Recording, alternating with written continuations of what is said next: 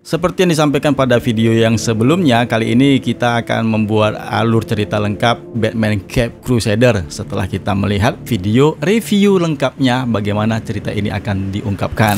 Nah, untuk teman-teman yang belum melihat video reviewnya, silahkan dilihat di dalam deskripsi. Di mana serial animasi yang dirilis di Amazon Prime ini milik properti DC Comics telah membuat para penggemar lama menjadi bersemangat lagi dengan kilas balik cerita animasi tersebut. Film animasi yang dimaksud ini adalah Batman Batman Cape Crusader. Pada video kali ini kita akan membahas alur cerita lengkap sebanyak 10 episode dibuat oleh Bruce Timm, J.J. Abrams dan Matt Reeves. Animasi Batman Cape Crusader ini bertujuan untuk menangkap esensi DC dalam suasana film noir yang suram dan mencekam. Asal kalian tahu ya, dulu pada tahun 1988 dengan nama yang sama, Batman Cape Crusader merupakan permainan video game, sedangkan di komik merupakan art cerita Batman The Cape Crusader pada serial Batman volume pertama yang dimulai dari edisi 417 sampai 431. Nah, sekarang di tahun 2024 Batman Cape Crusader diluncurkan dalam bentuk animasi kartun dengan sentuhan dan desain pada tahun 1940-an. Cari tahu selengkapnya pada alur cerita film animasi ini di mana teman-teman akan menemukan beberapa karakter yang sudah familiar dimunculkan dengan alur cerita asal-usul yang berbeda. Tapi sebelum kita masuk ke narasi ceritanya, ada baiknya kita lewatkan dulu bumper DC Indonesia yang ter terbaru di 2024 ini setelah ya rilis logo terbaru dari DC Studios. Ya, kita lihat saja intro bumper DC Indonesia. Alright? Yeah.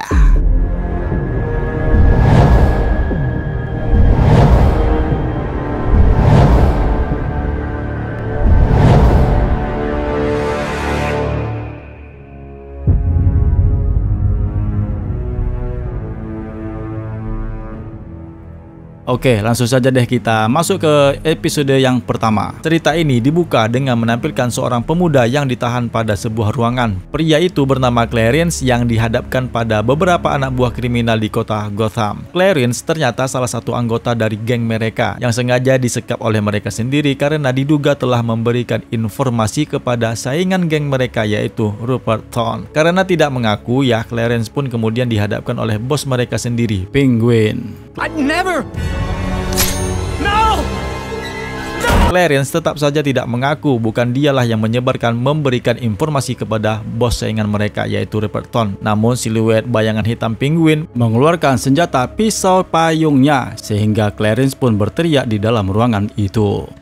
Di tempat lain, beberapa anggota Rupert Thorne sedang memindahkan barang-barang curian mereka ke dalam gudang di mobil karena ada yang sedang memburu mereka. Pembicaraan mereka mengenai sosok Batman yang selama ini hanya sebuah kabar burung menjadi terhenti karena sosok Batman yang mereka bahas itu beneran ada yang sekarang langsung menyerang untuk menghentikan tindakan mereka. Meskipun Batman berhasil melumpuhkan geng tersebut dan belum sempat menanyakan kepada mereka tentang barang-barang curian di gudang, tiba-tiba entah mengapa di gudang itu terjadi ledakan. Hal ini menimbulkan pertanyaan bagi Batman, siapa yang telah melakukannya. Setelah melewati intro Batman Cape Crusader, Batman dan pelayan setianya Alfred Pennyworth mengkaji peristiwa ledakan dan menyimpulkan ledakan tersebut merupakan ledakan yang ketiga kalinya setelah yang sebelumnya. Alfred pun meneliti catatan resmi dari kepolisian yang menjelaskan ledakan pertama disebabkan oleh kebocoran gas dan ledakan kedua disebabkan oleh kebakaran listrik. Menurut analisa Batman, ledakan itu mengganggu mengganggu geng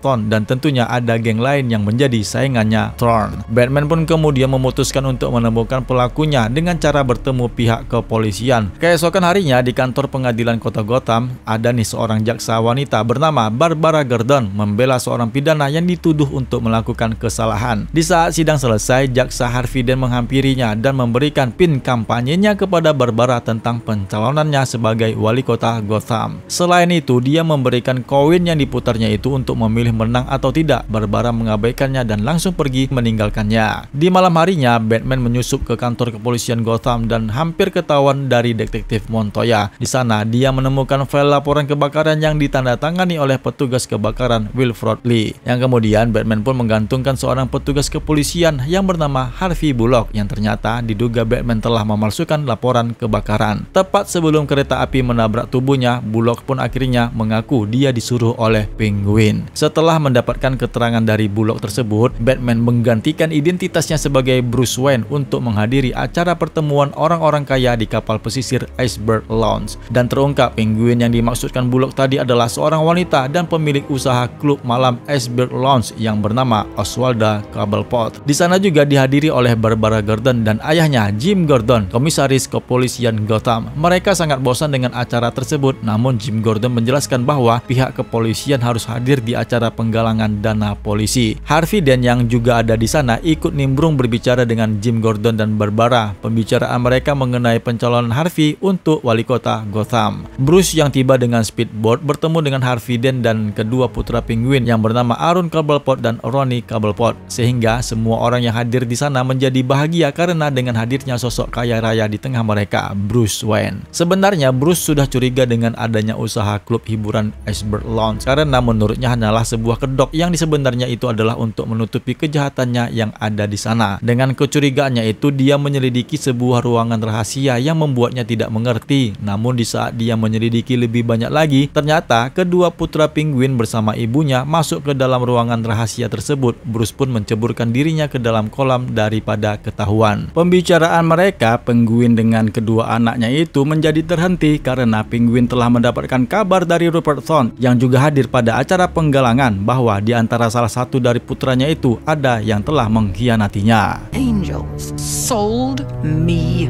out.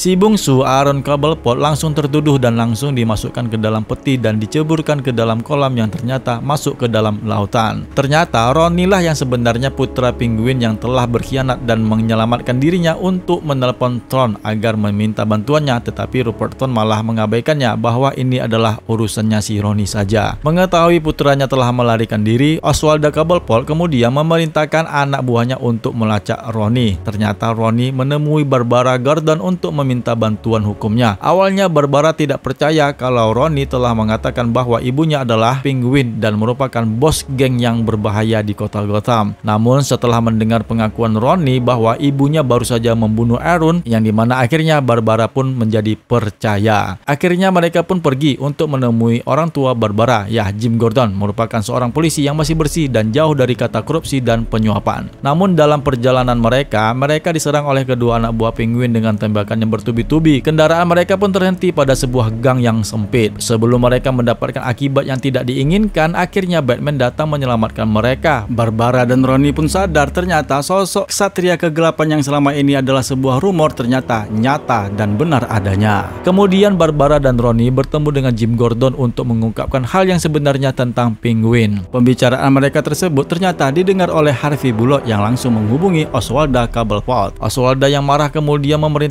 anak buahnya untuk mengaktifkan meriam mereka untuk meledakkan kantor polisi. Namun usaha tersebut digagalkan oleh Batman. Meskipun Batman sempat bertempur dengan penguin wanita itu, dia berhasil melepaskan tembakan meriamnya ke arah kantor kepolisian kota Gotham, di mana sebelumnya Barbara dan Jim Gordon mengevakuasikan seluruh staf kantor untuk menyelamatkan diri mereka dari pernyataan Ronnie tentang ibunya yang akan menghancurkan kantor mereka. Setelah berhasil dikeluarkan semuanya, ledakan pun akhirnya menghancurkan kantor polisi. Sementara Oswalda mengaku kalah berkelahi dengan Batman, namun bom berhasil diledakkan. Di puing-puing ledakan, Barbara mengatakan kepada ayahnya, ternyata sosok kesatria kegelapan dengan kostum kelelawar itu nyata dan dia pernah melihatnya. Di akhir episode pertama, Batman mengungkapkan kepada Alfred bahwa kekalahan Oswalda berarti Thorn sekarang memiliki kesempatan untuk memperluas kerajaan kriminalnya. Dia pun berkata selanjutnya dia tidak boleh gagal lagi.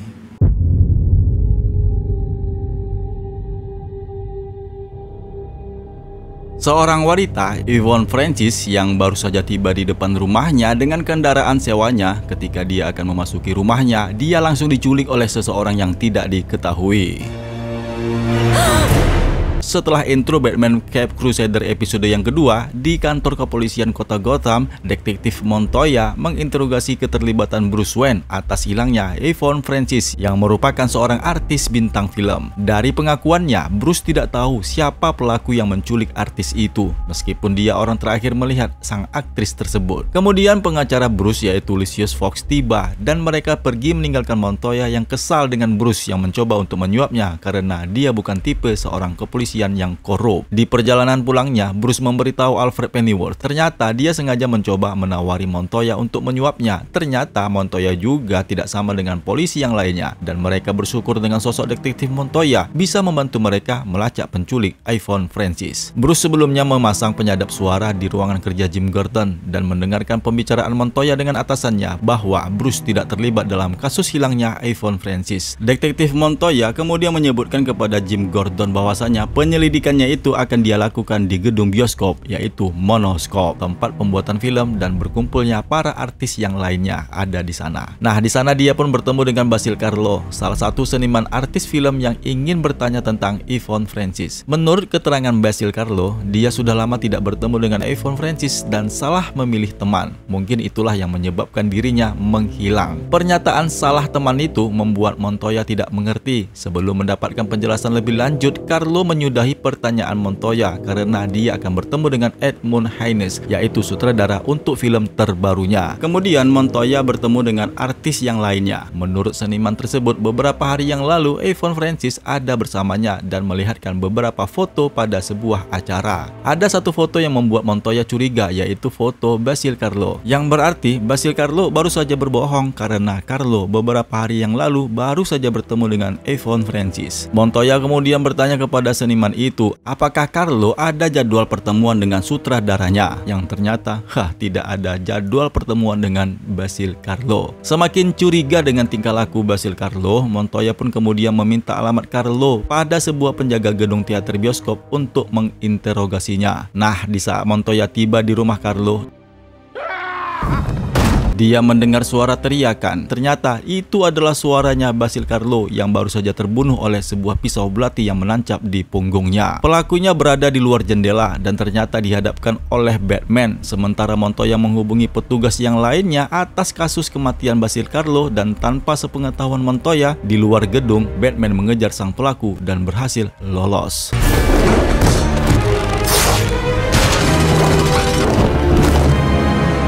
Di tempat lain, Ivan Francis ternyata masih hidup. Dia dibangunkan oleh seorang pelayan dan berada di dalam kamar yang terikat dengan rantai. Di sana terpampang jelas beberapa lighting cahaya dan kamera untuk sebuah adegan yang akan diperankannya. Jim Gordon dan Rini Montoya kemudian berdiskusi mengenai kematian Basil Carlo dan Jim Gordon meminta penyelidikan Montoya tentang kebohongan Basil Carlo yang menghindar mengenai hilangnya Ivan Francis sehingga berbentuk dengan kematiannya. Harvey Dent pun kemudian berbicara dengan Montoya untuk segera menangkap pembunuh membunuh Basil Carlo agar bisa dibantunya untuk dalam persidangan karena dengan itu akan menaikkan reputasinya sebagai calon wali kota Gotham. Tidak tertarik dengan ide tersebut, Montoya mengabaikannya sehingga membuat Harvey Dent pergi dari kantor polisi. Di studio pembuatan film, seorang sutradara untuk film Yvonne Francis dan Basil Carlo yang sedang dikerjakan mati terbunuh oleh sosok misterius yang telah membunuh Basil Carlo sebelumnya. Batman dan Alfred menyelidiki potongan kain penutup wajah sosok misteri pembunuh Basil Carlo dan menemukan silikat. Kemudian dengan menggunakan lampu uap merkuri pada kain tersebut tercantum nama gedung Monoscope. Penyelidikan Batman kemudian berlanjut di komplek pembuatan film Monoscope di mana Montoya bertanya kepada Daryl Manning dan seorang wanita penata busana mengenai sosok Basil Carlo. Setelah mendapatkan keterangan dari mereka, Montoya mengetahui ternyata Carlo minder untuk mendapatkan lawan aktingnya bersama Francis. Kemudian dengan keterangan Edmund Haynes, Montoya juga mengetahui ternyata Basil pernah kecewa dengan upaya Jack Elman yang gagal mengubah penampilannya. Dari semua keterangan tersebut didengar oleh Batman yang masih menyimpan penyadap suara, semua pembicaraan si Montoya itu didengarnya. Di mana Batman ketika menyelidiki di studio Monoscope, dia berhadapan dengan sosok misterius sekali lagi yang mencoba untuk membunuh sang sutradara Edmund Haynes. Dalam perkelahian mereka menggunakan pedang di dalam salah satu ruangan bawah gudang studio, Batman tertimpa kayu sehingga sosok misterius itu pun berhasil melarikan melarikan diri. Di sanalah kemudian Batman menemukan mayat Manning dan Leo Valentine yang sudah tewas berhari-hari lamanya. Namun yang menjadi pertanyaan bagi Batman adalah Daryl Manning baru saja diwawancarai oleh Montoya terkait kematian Basil Carlo. Batman pun kemudian memeriksa mayat Basil Carlo di ruang mayat dan akhirnya dia pun menyadari itu bukanlah mayat Basil Carlo tapi seperti tanah liat yang lunak dan bukanlah sosok Basil Carlo yang asli. Montoya yang curiga bahwasanya Jack Element adalah pelakunya memberitahunya segera menghubungi kepolisian. Di tempat Jack Elman, dia menginterogasinya, namun semua pertanyaan itu membuat Elman tersudutkan dan dia pun akhirnya mengungkapkan bahwasanya dia adalah Basil Carlo. Some people like to do things the hard way.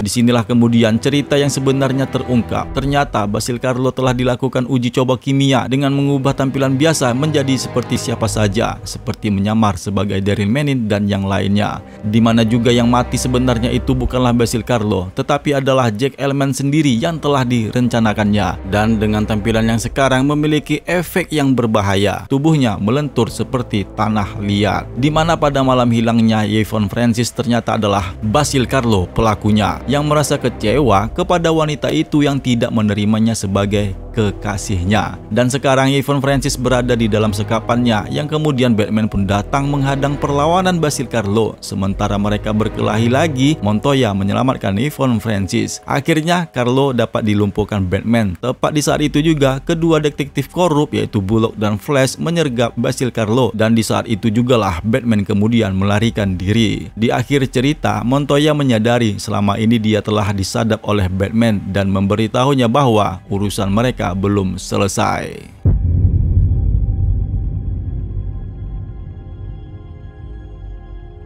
Di Gotham Museum, O'Brien dari Gotham Gazette mengambil foto pengunjung yang ada di sana. Nah, di sana juga ada Bruce Wayne yang dihampiri oleh Selina yang berbicara mengenai peninggalan kalung milik ibunya Martha Wayne yang disimpan di dalam museum itu. Wanita itu meminta ditraktir oleh Bruce dan sebelum berpisah, Bruce menghajar seorang pengunjung yang melecehkan kalung milik ibunya pada saat peristiwa kematian orang tuanya di gang Crime Alley. Cost 10 grand, 20? Pearls like that into Crime Alley. Oh my.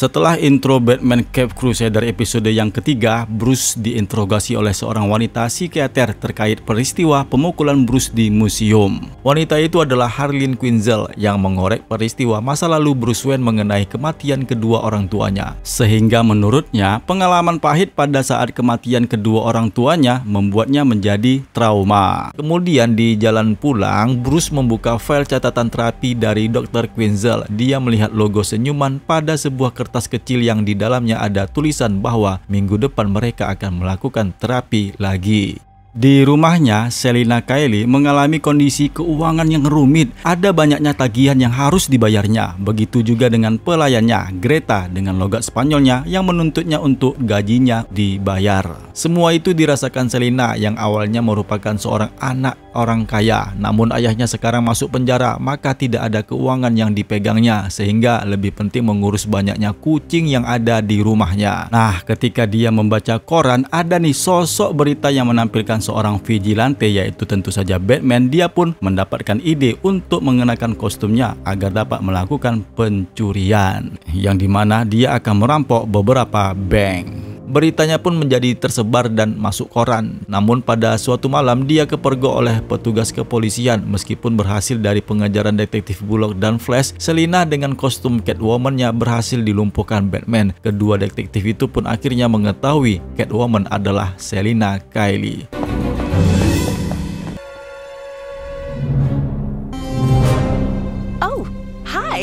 Are you? Catwoman, dear. You inspire me.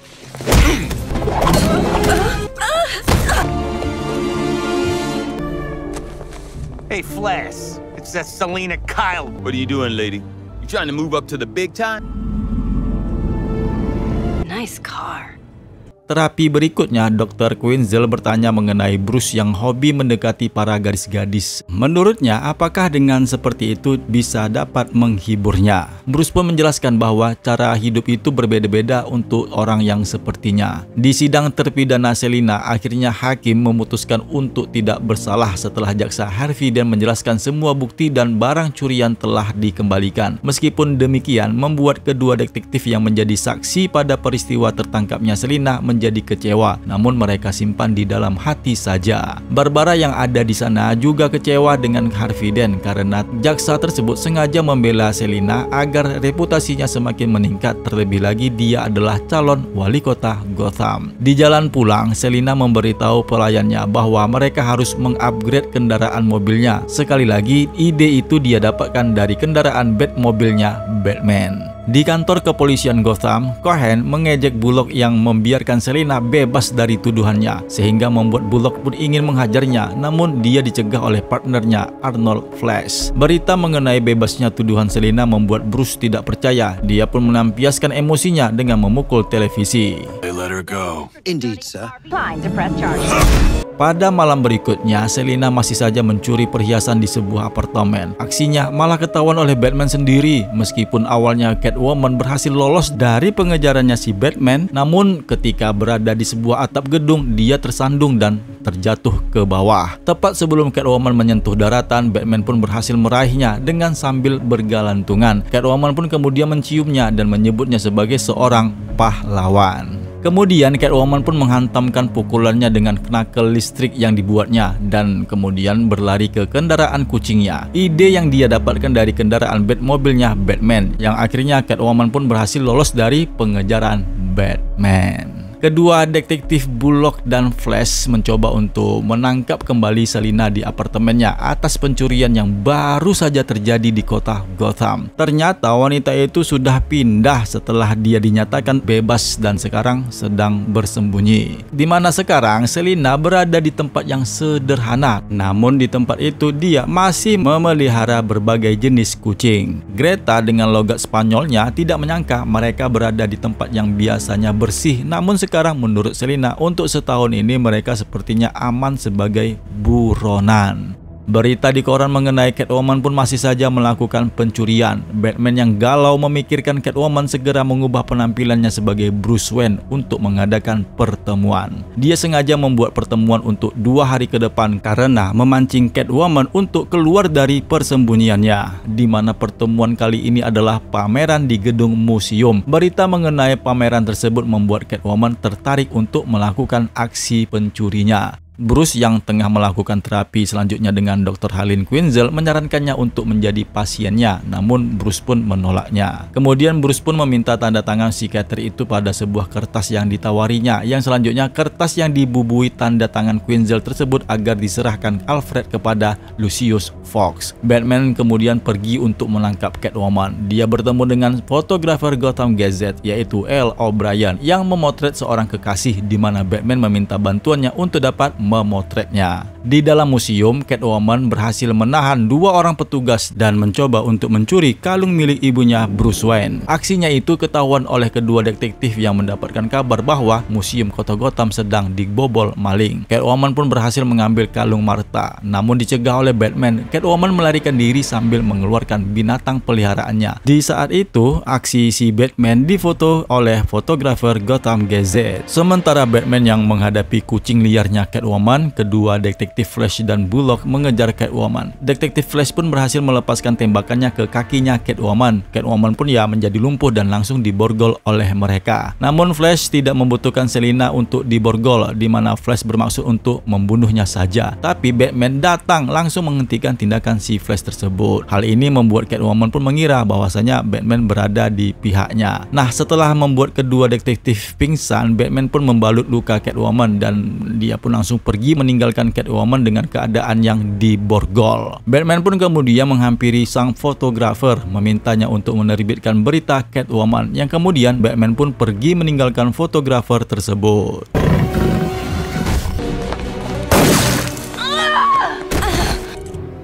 We're not gonna need though.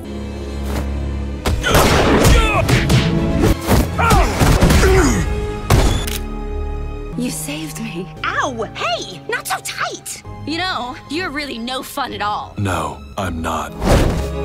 So So I got some shots in there, but hey, I'm not trying to. Just make sure the Catwoman photos run. Keesokan harinya, Selina menghubungi Greta untuk membantunya. Namun Greta yang sudah muak, dia menjual semua barang berharga milik Selina untuk membayar hutangnya selama 3 tahun yang belum dibayarnya. Dan sekarang dia pun berencana pergi meninggalkan Gotham karena dia akan pulang ke kampung halamannya. Di tempat rahasianya, Batman dan Alfred membahas Catwoman yang kali ini sangat memberatkan untuk dibebaskan seperti pertama kalinya dan menurut Batman Catwoman akan kembali tidak lama lagi. Di akhir episode yang ketiga ini, pada masa lalunya, Alfred Pennyworth sedang membersihkan kendaraan Thomas Wayne dan mendengar suara tembakan senjata di dalam gang yang membuatnya langsung berlari ke dalam asal suara yang ada di dalam gang Crime Alley.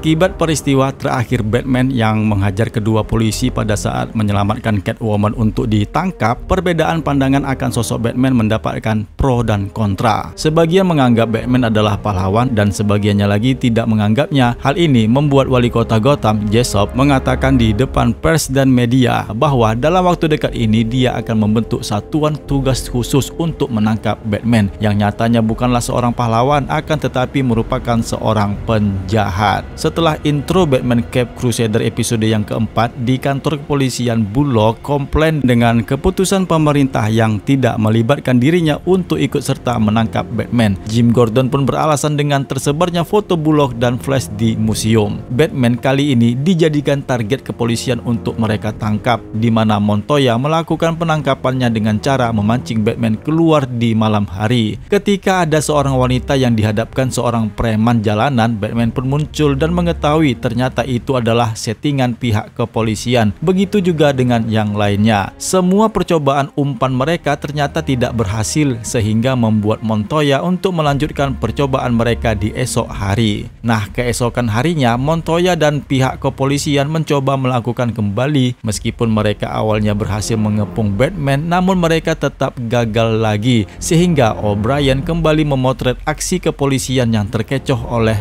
Batman. We got 'em.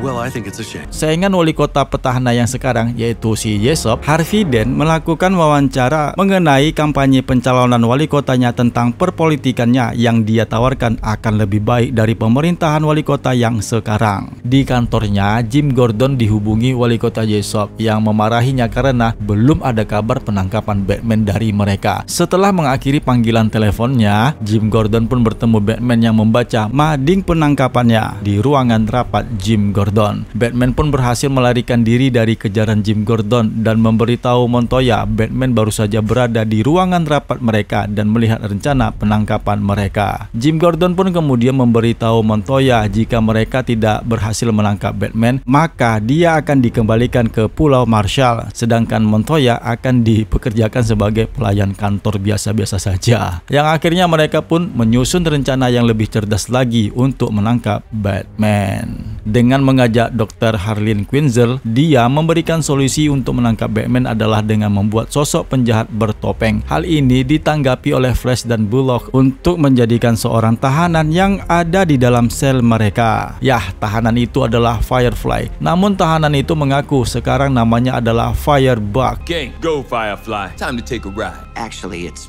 Firebug. Firebug. Right. Better grab his outfit from evidence too. Dengan dirinya diharapkan Flash dan Bullock untuk menangkap Batman. Ternyata Firebug adalah kliennya Barbara. Di saat bertemu dengan Flash dan Bullock yang akan memanfaatkannya memancing Batman untuk keluar. Yah, Barbara pun berpesan kepada mereka bahwasanya orang itu sangat berbahaya.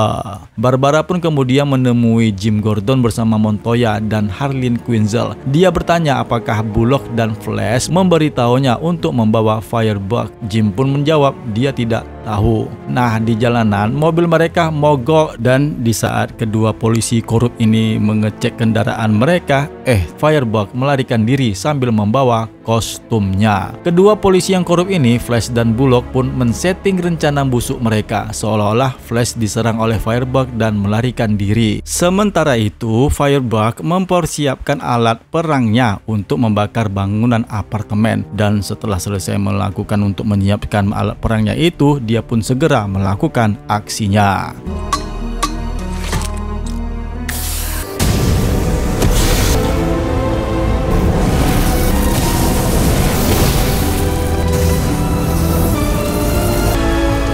Jim Gordon bersama Rini Montoya mengejar Flash dan Bullock. Batman melihat kedua polisi korup itu di atas gedung untuk mengetahui apa yang sedang mereka lakukan. Di dekat mereka nih ada gedung yang terbakar yang kemudian si Batman langsung beranjak dari tempatnya untuk mengamankan warga. Bullock pun kemudian menghubungi semua petugas untuk merapat ke lokasi kebakaran. Jim Gordon mendengar informasi tersebut mengatakan kepada semua petugas untuk tidak bertindak sampai dia tiba di TKP. Namun diabaikan Flash yang memerintahkan petugas petugas yang lainnya untuk menangkap si pembakar dan Batman yang baru saja masuk ke dalam apartemen yang terbakar. Batman pun menghadapi Firebug di dalam gedung namun sayangnya dia juga diserang oleh dua orang petugas yang ada di sana dan berhasil melumpuhkan mereka. Batman pun kembali mencari Firebug yang melarikan diri. Nah di saat itu Jim Gordon memasuki gedung untuk mencari Flash dan Bullock. Batman yang menyelamatkan warga yang terjebak diserang oleh petugas yang lain dan berhasil melumpuhkan mereka. Jim Gordon Gordon kemudian pergi ke lantai atas untuk mencari Batman yang ada di sana. Sedangkan Rini Montoya diminta untuk mengeluarkan semua petugas dari gedung. Firebug yang kehabisan bahan bakar kepergok oleh kedua polisi korup di mana Bullock langsung menembaknya sampai terjatuh keluar jendela gedung dan tewas di saat itu juga. Well, your lawyer was right. You are more dangerous. Yes, but I used all. He'll talk about his escape.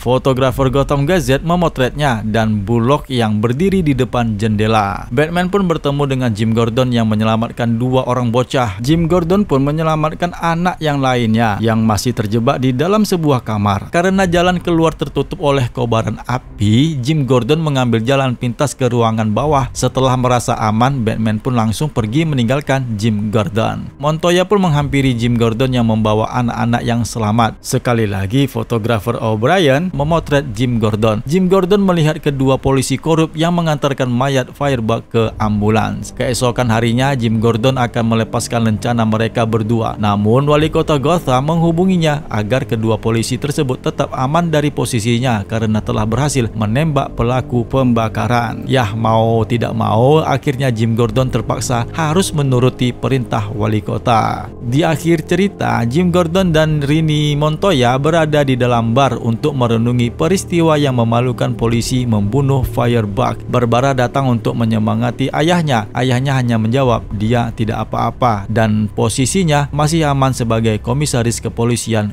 Gotham.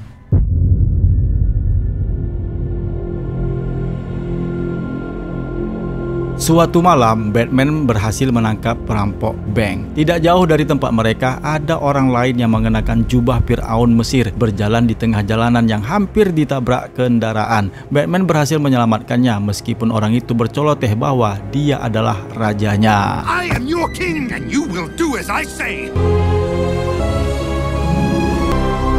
Setelah intro Batman Cape Crusader episode yang kelima, orang yang mengenakan kostum Fir'aun itu adalah Fletcher Deming, seorang kaya raya dan ditahan di kepolisian Gotham. Batman dan Alfred menyimpulkan pasti ada yang tidak beres dengan tahanan itu yang awalnya merupakan sosok kaya raya dan sekarang ditahan pula di rumah sakit Arkham. Di rumah sakit Arkham, seorang pasien dengan masker badut digelitik oleh bulu ayam. Dia rupanya diinterogasi oleh seorang dokter wanita, di mana pasien itu selalu tertawa terbahak-bahak sambil mengeluarkan air mata. Di kedai kopi, Barbara dan Harleen Quinzel berbicara mengenai kota mereka yang semakin parah dengan banyaknya kejahatan yang terjadi. Di mana kemudian Montoya datang ke tempat mereka untuk berbicara mengenai ayah Barbara yang tidak menyangka kedua polisi korup masih menjadi detektif kepolisian di kota Gotham. Namun Barbara memberitahu Montoya bahwa ayahnya akan selalu baik-baik saja.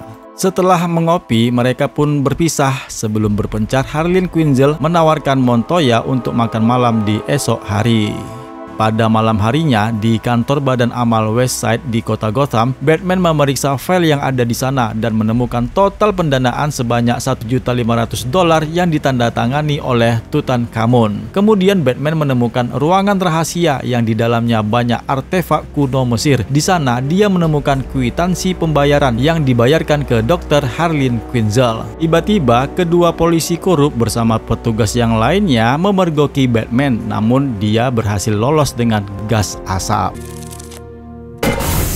Come out with your hands up! Don't let him escape!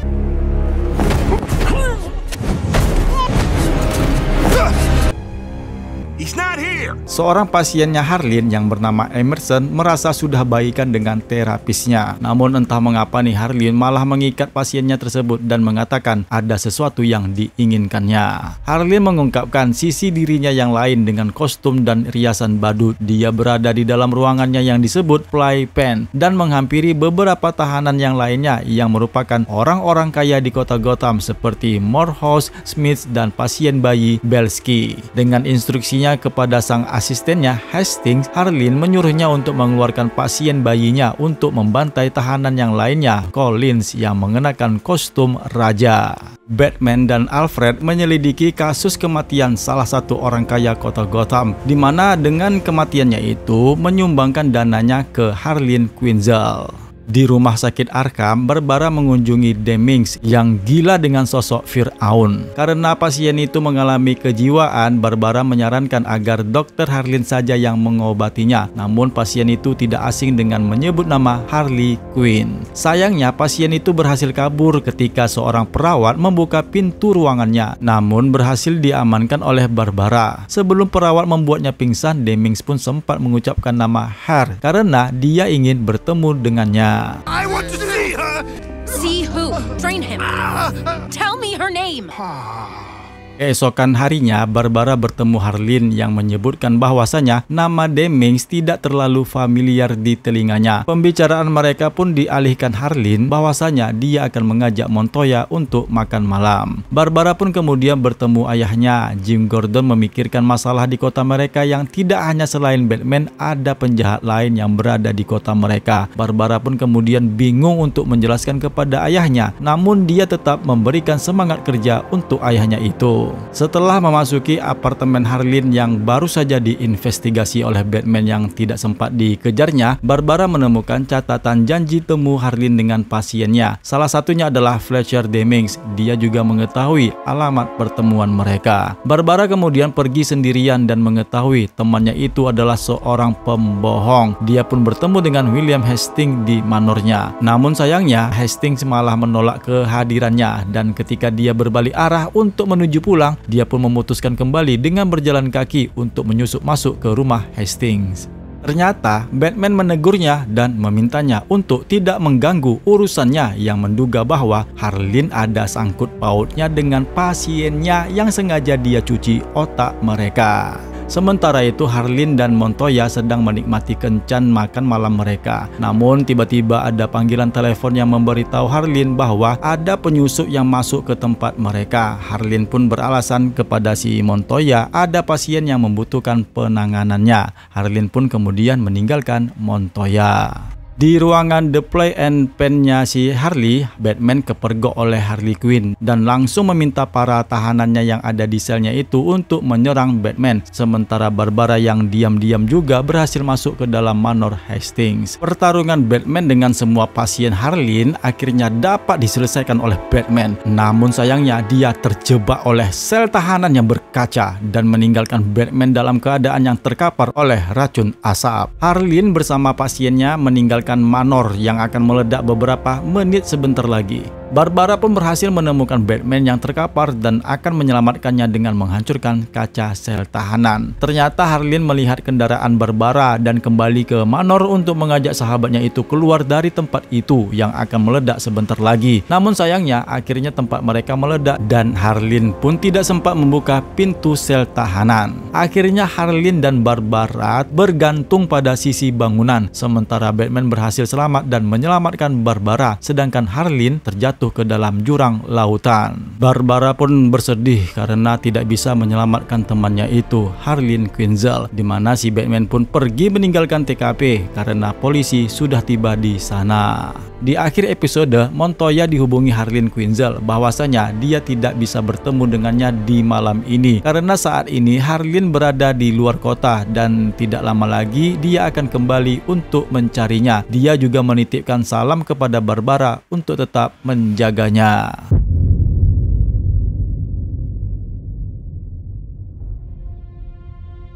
Suatu malam, petugas keamanan mengantarkan jumlah uang besar untuk pendanaan amal Westside. Namun di perjalanan, mereka diserang oleh sosok hantu yang bercahaya biru yang menunggangi kuda. Hantu tersebut tertawa ketika dia berhasil mengambil sejumlah uang yang banyak di dalam kendaraan.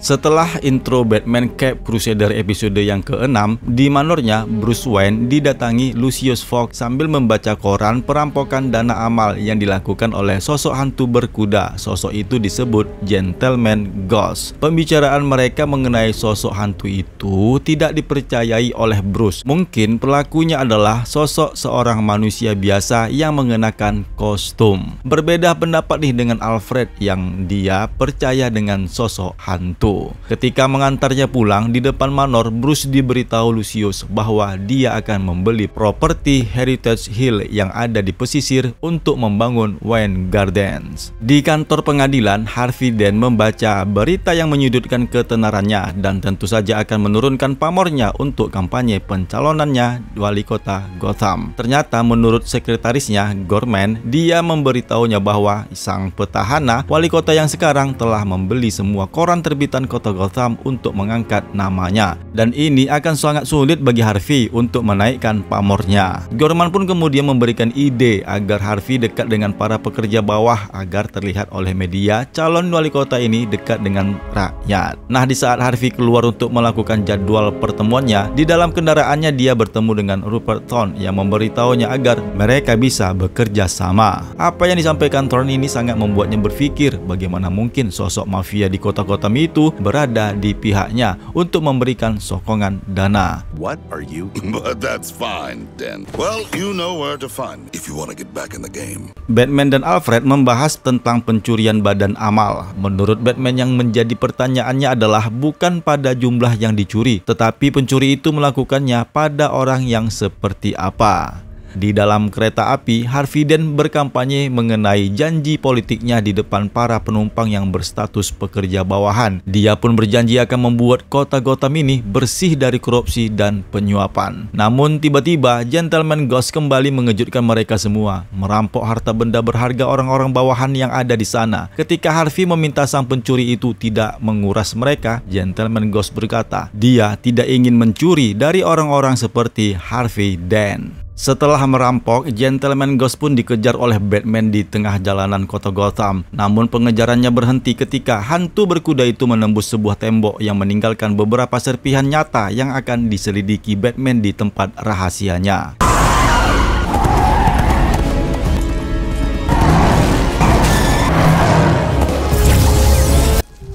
Di sana dia pun kemudian menemukan sebuah logo pada abad ke-14 yang membuatnya harus mencari tahu di perpustakaan kota Gotham mencari logo yang sama apa arti dari logo tersebut. Putus asa karena tidak menemukan logo yang dicarinya mirip pada sebuah buku catatan sejarah, Wilma, seorang petugas perpustakaan menyapa Bruce Wayne dan memberitahunya bahwa itu adalah logo keluarga Craddock. Wilma pun kemudian menceritakan kisah keluarga Craddock yang dulunya merupakan seorang pendiri kota Gotham Gotham dan dihapus dari catatan sejarah karena James Craddock yang terkaya di kota itu memiliki kebiasaan yang buruk yaitu bermain judi. Dari kebiasaannya itu dia pun menjadi bangkrut dan untuk memperkaya kembali James Craddock melakukan tindakannya sebagai sosok pencuri berkuda yang hanya mencuri dari kalangan rakyat kecil. Atas perlakuannya tersebut dia pun dihukum mati. Lucius Fox pun bertamu ke rumah Russell Craddock si pemilik properti yang akan menjualnya kepada Lucius dan akan melakukan kesepakatan tanda tangan surat pembelian properti milik Russell. Di saat Bruce menghubungi Lucius Fox, asistennya menjawab bahwa Lucius sekarang berada di Heritage Hill. Bruce pun bersama Alfred bergegas pergi ke tempat itu.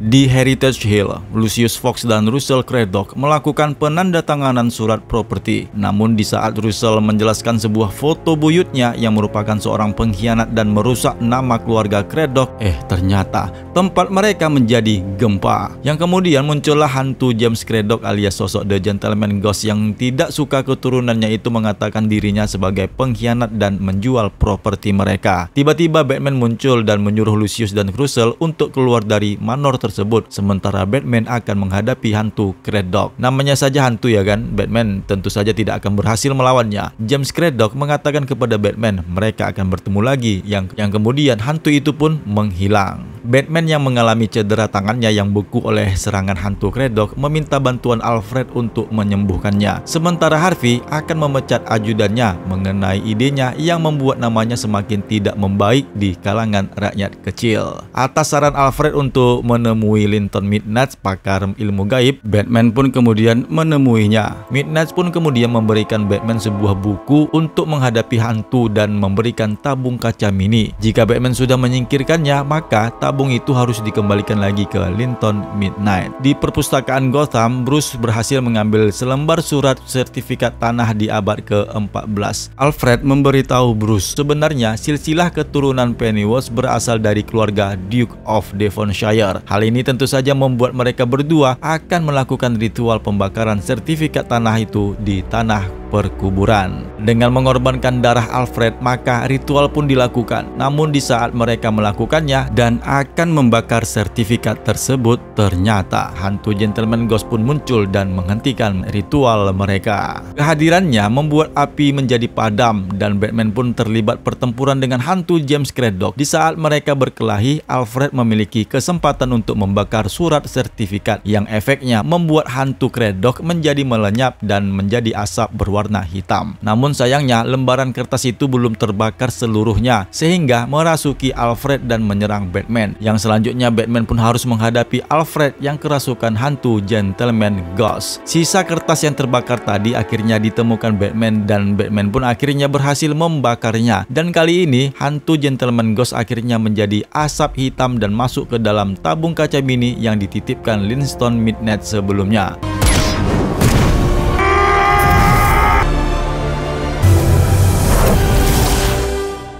Setelah keadaan menjadi aman, di sana ternyata ada Midnight yang menunggu Batman untuk mengembalikan tabung kaca. Craddock pun ketakutan melihat Midnight yang akan membawanya, yang akhirnya Linton Midnight dan Batman pun berpisah. Well, hello there, Jim. Been a long time. My God, no, you, you can't leave me with this man. I beg you, Di akhir episode, Harvey Dent diberitahu Gorman bahwa keuangan mereka sudah menyusut. Hal ini membuat Harvey memarahinya. Setelah mengusirnya keluar, Harvey Dent menelepon Rupert Thorne untuk melakukan kesepakatan kerjasama mereka. Thorn, it's Dent. Let's talk.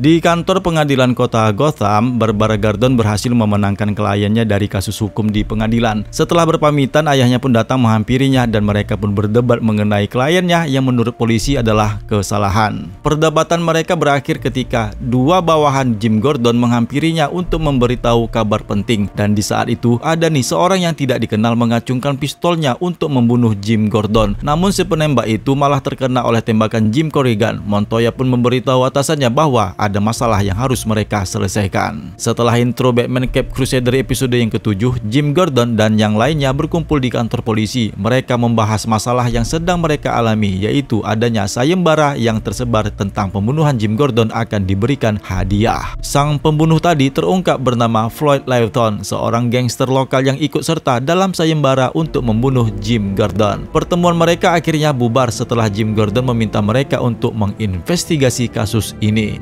Barbara yang khawatir dengan keselamatan ayahnya memintanya untuk mengasingkan diri selama petugas kepolisian mencari siapa yang melakukan sayembara tersebut. Meskipun Jim Gordon tidak percaya pelakunya adalah Thorn, dia juga tidak ingin bersembunyi karena dia tidak bisa memantau kedua polisi korup yang dikerjakan mereka. Barbara pun menjadi kecewa. Dia dihampiri Montoya dan mengatakan kepadanya bahwa ayahnya akan selalu baik-baik saja karena dia akan selalu menjaga ayahnya. Barbara pun percaya dan berpesan agar selalu bersama ayahnya dan jika ada sesuatu agar langsung menghubunginya. If anything happens, call me at my office. You got it. Malam harinya di ruangan kerjanya di kantor pengadilan, Barbara Gordon dikejutkan oleh munculnya Batman yang secara tiba-tiba. Kehadiran Batman menjelaskan kepada putrinya Jim Gordon tersebut bahwa dia sudah menginvestigasi beberapa gangster dan mendapatkan petunjuk bahwasanya sayembara tersebut berasal dari penjara Blackgate. Karena Jim Gordon pasti pernah memiliki daftar tersangka yang ada di penjara selama 30 tahun menjadi polisi selama ini. Di mana tentu saja tahanan itu pasti menaruh dendam kepada Jim Gordon dan melakukan sayembara untuk membunuh Jim Gordon. Kemudian Batman pun meminta si Barbara untuk menyembunyikan ayahnya saja, sementara dirinya yang akan menyelidiki ke penjara Blackgate. Get your father somewhere safe. I'm gonna find out more. Wait, how are you? Di penjara Blackgate, Batman menyusup dan setelah melumpuhkan kedua petugas sipir dan memasuki sebuah sel yang dicurigai Batman, orang itulah yang menyebarkan sayembara. Namun menurut orang itu, dia menyebutkan pelakunya adalah Mueller. No, no, look, it wasn't me. I'm just the middleman. I swear, I didn't. It's this guy. Dia juga menceritakan setelah serangan tadi siang yang ada di depan kantor pengadilan, si pembuat sayembara sekarang telah menggandakan hadiahnya dan mendatangkan banyaknya berbagai macam pembunuh bayaran ke kota Gotham. Mereka dipimpin oleh seseorang yang mengenakan topeng wajah berwarna hitam dengan garis lingkar berwarna putih. Batman pun kemudian menemui Mueller di sel tahanannya. Karena ketahuan, ya dia pun menyerang Batman, namun Batman berhasil melumpuhkannya dan meminta penjelasannya untuk apa dia membunuh Jim Gordon. Sementara itu, Jim Gordon yang baru saja pulang dari kantornya langsung disambut oleh putrinya Montoya, Corrigan, dan Marcus untuk membawanya ke tempat yang aman. Meskipun Jim Gordon menolaknya, akhirnya dia pun menurutinya agar keadaan yang ada di lingkungan kompleks rumahnya tidak terganggu oleh orang-orang yang sekarang sedang memburunya. Saat mereka pergi, telepon yang ada di rumah Jim Gordon berdering. Ternyata yang menelponnya adalah Batman yang sedang mengendarai Batmobile. Dia pun kemudian mencoba untuk melacak Jim Gordon. Di perjalanan, mereka ternyata diikutin oleh kendaraan polisi yang ternyata mereka bukanlah petugas kepolisian. Mereka diserang oleh orang-orang suruhan yang tidak dikenal untuk membunuh Jim Gordon. Dalam aksi kejar-kejaran dan baku tembak di jalanan itu, akhirnya kendaraan orang yang mengejar mereka terjatuh ke jurang dan meledak.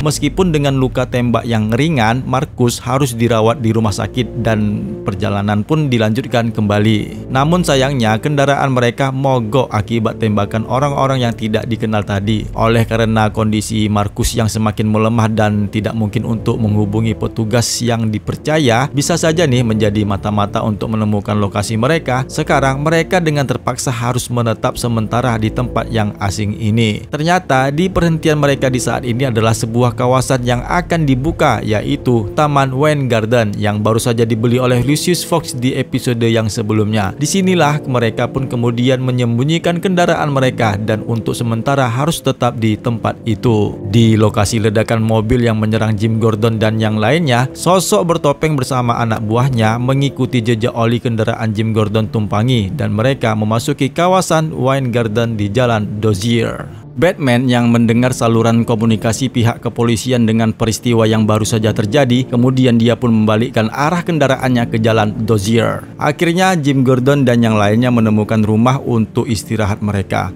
Namun sebelum mereka beristirahat, tiba-tiba ada suara tembakan yang membuat mereka terkejut. Ternyata itu adalah para pemburu sayembara bersama sosok bertopeng yang sedang mengepung tempat mereka. Aksi baku tembak pun terjadi, namun ternyata Batman ada di sana dan melumpuhkan beberapa gangster yang menyerang Jim Gordon dan yang lainnya. Meskipun beberapa gangster yang berhasil masuk ke dalam rumah, Barbara dan Corrigan mencoba untuk melawan mereka dan berhasil melumpuhkannya. Sementara itu di luar, Batman berhadapan dengan sosok bertopeng dan mereka pun berkelahi gedebam-gedebom. Tapi yang anehnya si apa yang yang pakai ini, yang pakai topeng ini, dia mengeluarkan suara yang seperti ini. Say, boss? Blip, blip, blip. Ding, ding, ding, ding, ding. Swish, crack, thump, whoosh, bam, bam.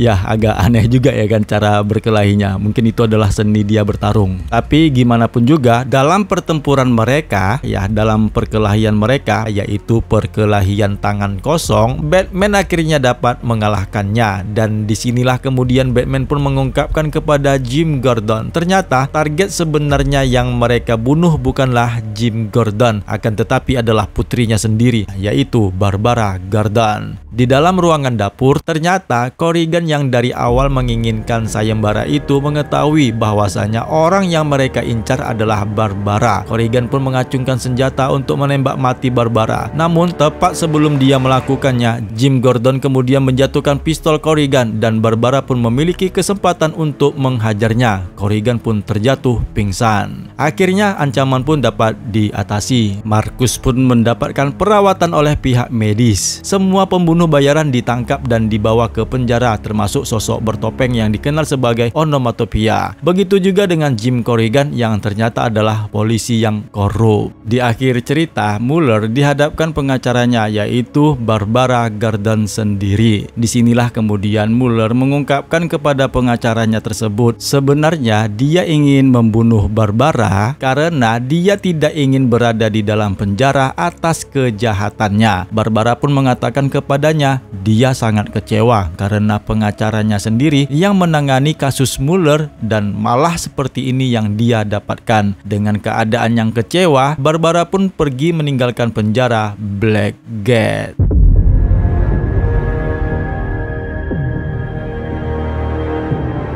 Di sebuah rumah panti asuhan anak-anak, Jason dibangunkan oleh Dicky untuk melihat pasar malam di dekat tempat mereka. Mereka kemudian dihampiri oleh seorang gadis belia yang mengajak Dicky untuk melihat ke dalam pasar malam. Gadis berkostum hitam tersebut membawa Dicky masuk ke dalam sebuah ruangan. Setelah intro Batman Cape Crusader episode yang ke-8, Bruce Wayne terlihat bersama kekasihnya, Yuli Madison, yang berada di pasar malam. Ketika dia melakukan sebuah permainan, para wartawan mengabadikan fotonya. Bruce sengaja datang ke acara pasar malam ini karena malam ini Harvey Dent telah mengundang panti asuhan anak-anak yang dikelola oleh Leslie Tomkins untuk datang ke pasar malam. Paling tidak ya untuk menaikkan pamornya si Harvey Dent di mata masyarakat menjelang pilkada kota Gotham. Dia diberitahukan kepada wartawan untuk menulis artikel mengenai Tom Skins yang telah mengabdikan seumur hidupnya untuk mengurus panti asuhan anak-anak kota Gotham. Kemudian Harvey Dent menghampiri Bruce dan Tomkins. Dia baru mengetahui pendonor panti asuhan tersebut adalah Bruce Wayne. Lagi pula wanita tua itu sudah lama berkenalan dengan ayahnya Bruce Wayne. Selanjutnya Tomkins pun mengumpulkan anak-anak asuhnya untuk berfoto dengan Harvey Dent. Setelah berfoto, anak-anak tersebut pun berpencar untuk untuk menikmati liburan pasar malam mereka.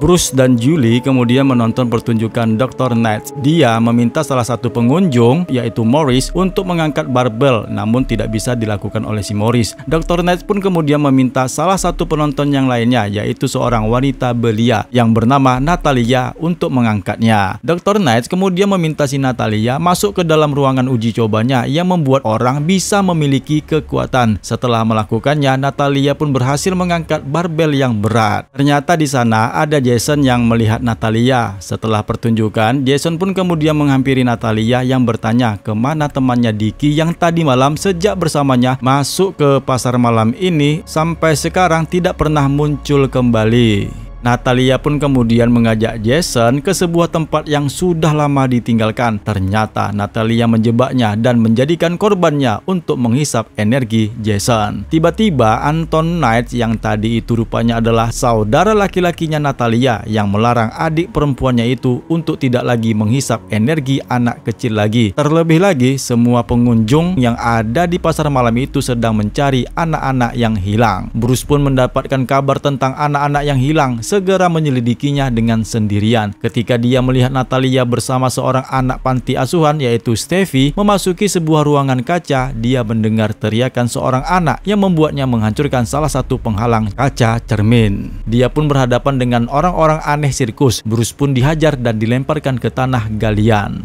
Damn creep.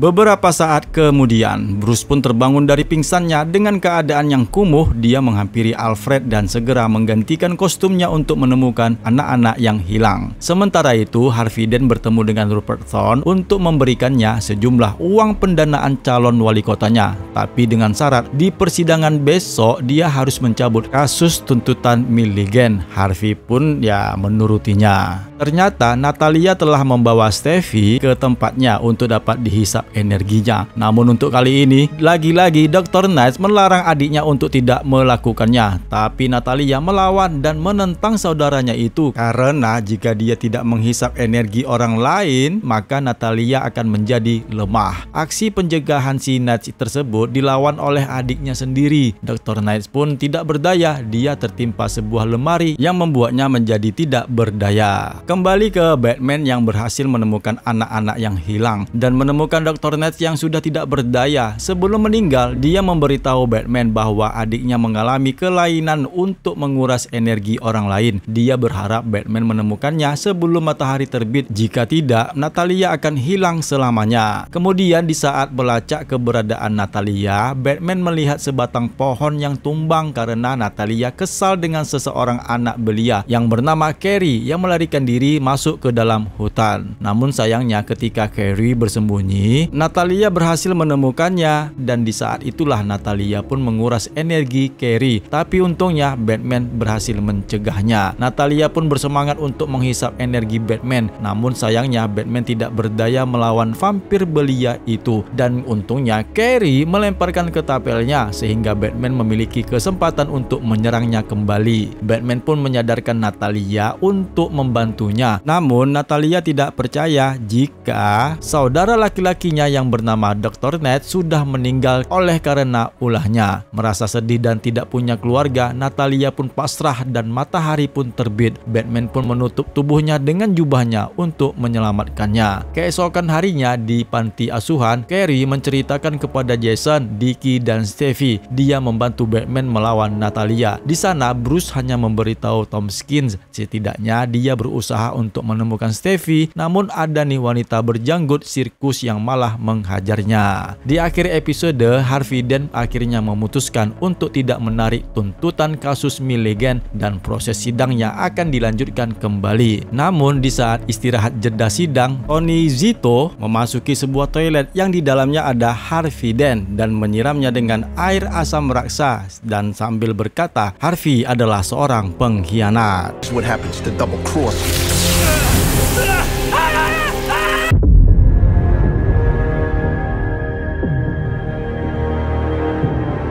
Cerita dimulai dengan terpilihnya Harvey Dent sebagai wali kota Gotham. Dalam penyampaiannya di muka umum, dia berjanji akan menjadikan kota Gotham menjadi kota yang aman dan jauh dari tindakan kriminal. Ternyata, ya itu adalah halusinasi dari sisinya yang lain. Karena sekarang Harvey Dent dengan wajahnya yang dibalutin perban telah mengasingkan dirinya di apartemennya selama berhari-hari. Kemudian dia melihat siaran berita di TV mengenai wali kota Jessup yang akan menggantikan posisi jaksa wilayah kota Gotham dengan Peter Mitchell dan mendoakan Harvey Dent agar segera sembuh. Tidak senang dengan berita itu, sisi jahatnya mengatakan bahwa dia akan membalaskan dendam apa yang terjadi dengan dirinya. Setelah intro Batman Cap Crusader episode yang ke-9, di kantor polisi Jim Gordon berdiskusi dengan yang lainnya mengenai kasus serangan cairan asam Harvey Dent yang sudah berjalan dua minggu lamanya, belum menemukan titik terangnya. Menurut Montoya, Harvey ada kasus suap dan pengkhianatan, sementara yang lainnya mungkin ada serangan dari lawan politiknya menjelang pilkada Gotham. Namun, pada inti pembicaraan mereka, Jim Gordon menekankan kepada mereka semua untuk segera menyelidiki kasus penyerangan Harvey Dent karena wali kota menginginkan kasus itu untuk segera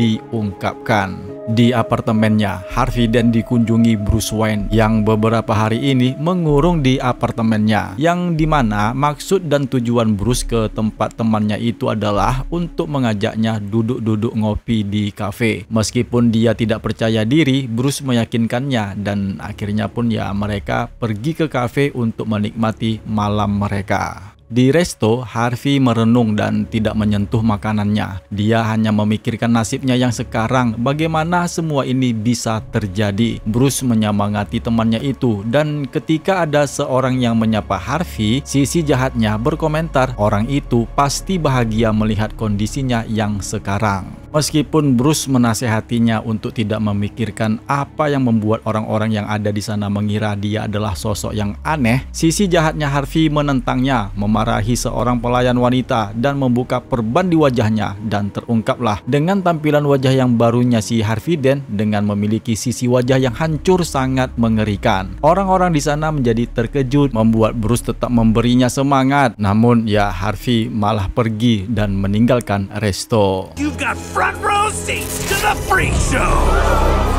Good luck, all of you! What do you think, sweetheart? Do I look okay? Kemudian Batman dan Alfred berdiskusi kasus penyiraman air asam Harvey Dent yang membuat Batman harus menyelidikinya siapa pelaku penyerangan tersebut. Sementara itu di jalanan kota, Harvey yang memiliki setengah wajah yang menyeramkan melihat penjahat kriminal yang mengganggu warga yang membuatnya langsung menyelamatkan warga itu. Dengan sisi jahatnya yang akan menegakkan prinsip keadilan dengan versinya, si Harvey ini melemparkan koin dua sisi yang berbeda. Apakah kriminal itu akan diserahkan polisi atau langsung diberi hukuman? Akhirnya penjahat kriminal itu kakinya ditembak oleh Harvey Dent dan beberapa saat kemudian orang itu memberitahu Montoya dan Jim Gordon bahwa pelakunya adalah setengah wajah yang hancur yang berarti pelakunya adalah Harvey Dent. Tanpa mereka sadari di atas bangunan Batman memantau mereka dan Batman pun segera melakukan penyelidikannya. Detektif Montoya kemudian berkunjung ke apartemen Harvey Dent, namun dia tidak menemukan Harvey Dent ada di tempatnya itu. Di sebuah tempat minum-minum, Harvey menemui Emil Potter, ya kaki tangan Robert Thorne, yang bertanya di mana lokasi Tony Zito, sang pelaku yang menyiramkan air keras ke wajahnya. Namun karena ketakutan dari ancamannya, ya terpaksa si Emil pun memberitahukan yang sebenarnya, yang memberitahukannya bahwasannya satu-satunya orang yang tahu posisinya si Tony Zito adalah mantan kekasihnya, yaitu Maggie Chen. Sebelum meninggalkan Potter, Potter sempat mengumpat kata-kata yang membuat Harvey menjadi marah yang kemudian dia pun menghajar si Potter sehingga para pengunjung yang ada di sana berlari ketakutan. Uh, Maggie! Maggie Kane! See, Emil. That was easy. Freak. Di tempatnya, Robert Thorne menonton pertandingan olahraga bersama putranya. Namun, seorang anggotanya memberitahu bosnya itu bahwa kemungkinan besar Harvey akan memburunya. Menurut Thorne sendiri, tidak mungkin Harvey datang ke tempat mereka dengan penjagaan yang ketat dan dilengkapi dengan persenjataan. Dalam penyelidikannya, Batman dihubungi Alfred mengenai siaran di radio kasus pemukulan di sebuah bar yang dilakukan oleh Harvey kepada salah satu anak buahnya Thorne. Dan ini membuat si Batman merasa yakin Harvey melakukan balas dendam kasus penyiraman air asam ke wajahnya kepada orang-orang suruhannya Rupert Thorne. Harvey menemui Maggie Chen meskipun menolak namun wanita itu akhirnya memberitahu keberadaan Tony Zito. Sementara Batman menginterogasi Emil Potter di rumah sakit bertanya apa yang diinginkan Harvey dari dirinya. Potter yang ketakutan memberitahu Batman bahwasanya Harvey Dent ingin mencari Tony Zito dan dia pun kemudian menyampaikan kepada Batman yang sebenarnya bahwasanya Harvey menemui Maggie Chen karena wanita itulah yang satu-satunya tahu tahu di mana lokasinya si Tony Zito. Batman pun kemudian menemui Maggie Chen yang akan berangkat meninggalkan kota Gotham. Sebagai orang kedua yang bertanya mengenai di mana lokasinya si Tony Zito dan mau tidak mau akhirnya si Maggie Chen pun memberitahu lokasinya kepada Batman. Dan sebelum Batman pergi, Maggie juga memberitahu Batman bahwa Tony bukan kekasihnya tetapi adalah mantannya. To your boyfriend, Tony Zito, wasn't he? Ex-boyfriend now. Sementara itu, Harvey menghadapi Tony Zito yang sedang bermain kartu bersama rekan-rekannya di Hotel Ivory. Dalam serangannya, si Harvey akhirnya dapat melumpuhkan mereka semua. Setelah mengikat Tony Zito dengan sebuah kursi, Harvey dengan setengah wajah membakar hidup-hidup si Tony Zito. Suara teriakannya membuat Batman mendengarnya dan melihat ada kobaran api di sebuah kamar hotel. Batman pun mengejar kendaraan Harvey, namun sayangnya dia terjatuh di saat berada di atas mobil Harvey. Yang akhirnya Harvey pun menoloskan dirinya dan langsung menuju ke target utamanya yaitu membunuh Rupert Thorne. Di tempatnya, si bos mafia yaitu si Rupert Thorne dihubungi oleh polisi korup yaitu si Bullock yang memberitahunya bahwasannya sekarang ini Harvey sudah semakin gila dan segera memburunya. Dengan peringatan tersebut membuat Thorne semakin berwaspada. Kembali ke Batman yang akhirnya mendapatkan perawatan dari Alfred yang selanjutnya melakukan pengejarannya untuk menghentikan serangan balasan Harvey Dent ke tempat Rupert Thorne. Di markasnya, Thorne dikejutkan dengan tiba-tiba kendaraan yang menabrak masuk ke tempatnya dan ternyata itu adalah orang-orang suruhannya yang sudah tewas dilakukan Harvey. Kemudian lampu menjadi padam dan di saat itulah Harvey menembak semua anak buah Thorne dan akan menghakimi Thorne karena telah membuatnya seperti yang sekarang. Sebelum akhirnya Harvey membunuh Thorne, tiba-tiba putra Thorne menghadangnya untuk tidak membunuh ayahnya. Namun Harvey malah menyambutnya dengan baik karena dia juga akan membunuh putra Rupert Thorne. Sebelum dia melepaskan pelatuk pistolnya, Batman pun akhirnya tiba dan menyelamatkan Rupert Thorne dan putranya dan mereka pun bergelut. Selama mereka bergelut, Thorne dan putranya melarikan diri. Yang akhirnya Batman pun berhasil menyadarkan Harvey dengan sisi baiknya yang menjelaskan bahwa dia salah melakukan hal ini dan meminta bantuan Batman untuk menahannya. Di akhir episode, Harvey Dent yang ditahan diberitahu petugas bahwasanya pengacaranya ingin menemuinya. Meskipun dia merasa itu dia tidak punya pengacara, ternyata hmm, pengacara yang dimaksudkan itu adalah Barbara Gordon.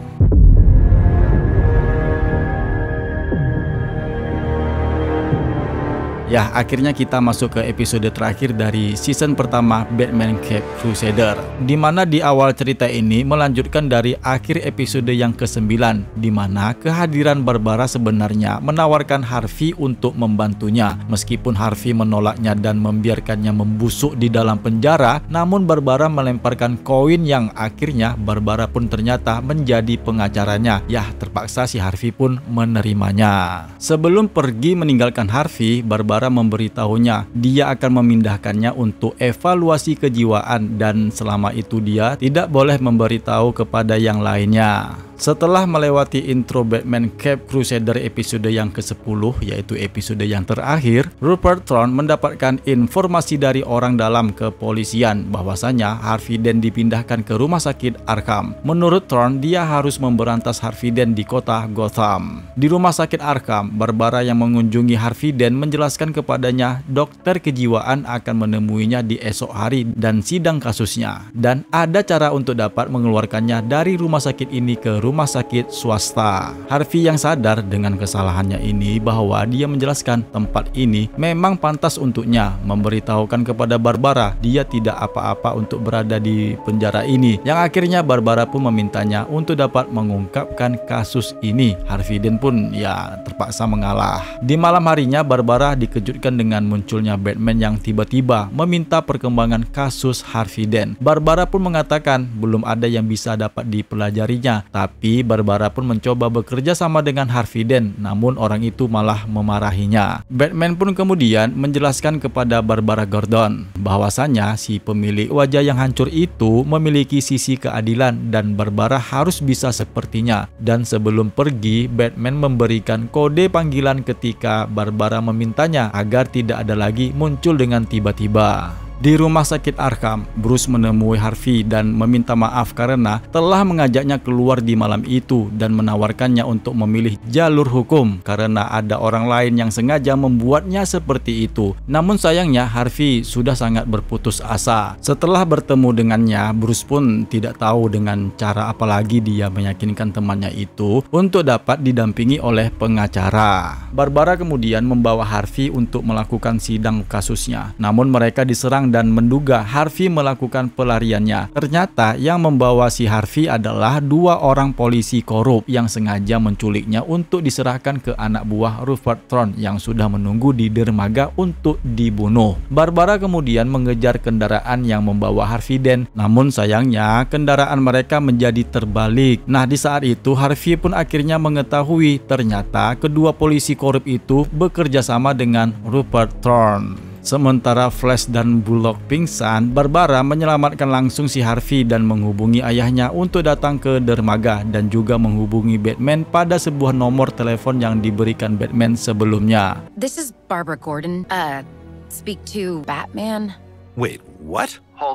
Ternyata di saat Barbara menelpon, dua orang anak buah Thorn melihat mereka di mana pada saat mereka berada di dermaga, kedua polisi korup dan anak buah Thorn melihat kendaraan Barbara yang berparkir di dermaga. Yang selanjutnya mereka pun mencari Barbara dan Harvey yang berada di dermaga. Jim Gordon dan Rini Montoya tiba di dermaga juga. Mereka tidak melihat ada tanda-tanda yang mencurigakan di tempat itu. Tiba-tiba Batman menghampiri mereka dan memberitahunya setidaknya setidaknya ada 15 orang anak buah Thorn dan dua orang polisi yaitu tentu saja Flash dan Bullock. Mereka akhirnya bertemu Harvey dan Barbara dan setuju untuk membantu Harvey dan mengatasi masalah hukumnya meskipun Jim Gordon menaruh jabatannya. Tiba-tiba anak buah Thorn muncul dan Batman pun menyuruh mereka untuk berpencar sementara dirinya yang akan menyelesaikan semua anak-anak buah Rupert Thorn yang ada di dermaga. Harvey meminta Barbara untuk melepaskan borgolnya karena yang dicari Thorn adalah dirinya, namun si Barbara tidak membiarkannya. Tiba-tiba mereka kepergok oleh anak buah Thorn dan berhasil melumpuhkannya. Namun mereka diserbu kembali oleh anak buah yang lainnya dan terjadilah tembak-menembak. Sementara itu, si Rini dan Jim Gordon berhasil melumpuhkan anak buah Thorn yang lainnya. Mereka pun sadar telah kehilangan Barbara dan Harvey Dent yang kemudian segera mencari mereka.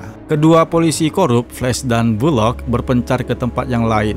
Batman menghajar satu persatu anak buah Thorn dan diselamatkan Jim Gordon ketika ada salah satu anak buah Thorn yang ingin menembak Batman. Batman langsung mencari Barbara dan Harvey yang menghilang, sementara Harvey dan Barbara yang bersembunyi malah ketahuan oleh suara gonggongan anjing dan mereka pun diserang oleh anak buah Thorn. Namun sayangnya Harvey tertembak yang menyebabkan dirinya menjadi melemah. Meskipun mereka selamat dari kejaran anak buah Thorn, Barbara membawa Harvey ke kendaraan mereka. Namun mereka ketahuan pula oleh Bullock yang bersiap untuk menembak Harvey dan berhasil dihentikan oleh Jim Gordon. Dan ketika Barbara Gordon membuka pintu mobil, Harvey melihat ada sosok yang mengarahkan senjata ke arah Barbara. Harvey pun kemudian melindungi si Barbara sehingga akhirnya ya tentu saja Harvey pun menjadi tertembak oleh si penembak yang ternyata adalah Arnold. Flash. Batman yang terlambat datang membantunya langsung mengkonfrontasi Flash yang baru saja menembak Harvey Dent dan membiarkan Flash hidup dengan melepaskan lima tembakan peluru yang bersarang di kotak yang ada di belakangnya. Told you. No, I'm not gonna make it. Come on, Harvey. I wouldn't, Bullock.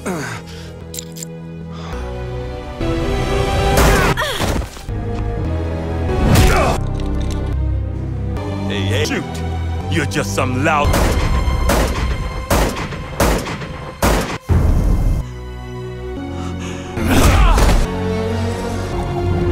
Setelah membuatnya pingsan, Batman pun melemparkan pistol ke lautan. Harvey yang sekarat akhirnya tewas dan mati dalam pelukan Barbara. Atas saran Jim Gordon karena polisi yang lainnya akan tiba di tempat itu, Batman pun pergi meninggalkan mereka yang berkabung atas kematian Harvey Dent. Ya, sangat sungguh ironis nih kematiannya si Harvey Dent, di mana kematiannya itu bisa dianggaplah sebagai pahlawan. Kemudian Batman dan Alfred mengenang masa-masa hidupnya jaksa wilayah kota Gotham, yaitu tentu saja Harvey Dent tentang pencalonan wali kotanya. Dia juga mengingat kata-kata Harvey Dent yang sangat sulit untuk mengatasi masalah di kota Gotham. Namun baginya sendiri, Batman akan menghadapinya meskipun hanya sendiri saja. Kemudian Batman berdiri di atas gedung. Tepat di saat itu, Rupert Thorne menelpon bawahannya atas insiden kematian Harvey Dent. Dia dikejutkan dengan batarang yang menempel di sofanya dengan wajah yang ketakutan, dia melihat di atas gedung seberang sosok Batman. Di akhir episode ke-10 sebagai episode terakhir pada season pertama Batman Cape Crusader di sebuah tempat yang tidak diketahui, ada beberapa orang yang tewas dengan cara tertawa terbahak-bahak duduk di kursi uji coba dengan wajah yang bahagia. Ternyata ada yang tengah melakukan percobaan tersebut dan mengatakan bahwasanya percobaannya berhasil, di mana hal ini akan diungkapkan pada season yang kedua. Nah, itulah dia pembahasan alur cerita Batman Cape Crusader season pertama Di mana kalau kita lihat di epilog cerita terakhir di episode ke-10 ini Kita pastikan ini adalah Joker. Nah, bagaimana menurut kalian semua dengan film animasi Batman Cape Crusader season pertama ini? Tulis ya komentarnya di kolom komentar. Yang selanjutnya kita nantikan saja untuk lanjutan season yang kedua. Sekali lagi, bagi yang belum subscribe channel DC Indonesia agar mensubscribekannya Ya biar aku juga tambah semangat juga lah ya kan membuat konten-konten video yang seperti ini kayak bahas-bahas alur cerita gitulah termasuk film animasi atau yang lainnya gitu pokoknya. Sukses ya untuk kita semua. Sampai jumpa pada video yang berikutnya. Terima kasih. Yeah.